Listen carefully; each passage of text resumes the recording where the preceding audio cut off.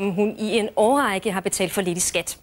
Thorning Smiths mand, Steven Kinnock, opretholdt nemlig sin skattepligt i Danmark, selvom han i den samme årrække boede i udlandet og dermed ikke var skattepligtig her i landet.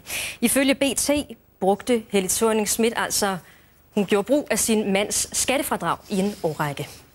Og vi fik ganske kort for den her udsendelse følgende kommentar fra Helle thorning Schmidt. Øhm, jeg har hørt få ting om BT's historie, og jeg vil bare sige, at der har intet udstående overhovedet med skattevæsenet. De har aldrig opkrævet en krone fra mig. Øhm, og ligesom sidste år, så forsøger BT at skabe øh, indtryk af noget, der ikke eksisterer. Jeg har intet udstående med skat. Så du har ikke uberettiget brugt det fradrag?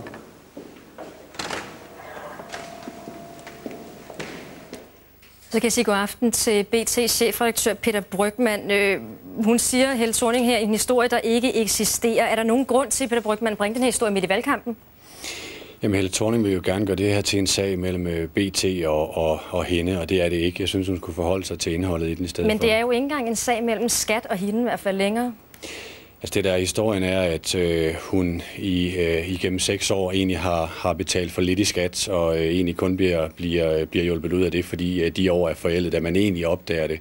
Så det er en ganske interessant sag, øh, som egentlig også strider imod i forhold til, øh, at alt er foregået til punkt og prikke, som Torning sagde sidste år. Det er faktisk ikke tilfældet. Men når man læser artiklen, så ser det umiddelbart ikke som, ud som om, at der er noget sådan presserende juridisk skattemæssigt problem lige nu. Hvorfor så bringe historien lige nu?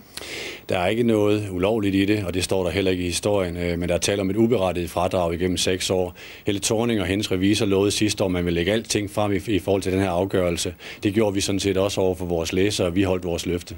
Og lige her til allersidst, der er jo også en skatteekspert, der, der understreger her i, øh, i artiklen, som kommer i morgen, at der ikke er nogen grund til at tro, at der er noget som helst, der er sket med vilje. Så jeg spørger dig lige en gang mere, hvorfor bringe den her, mm, den her historie i en valgkamp?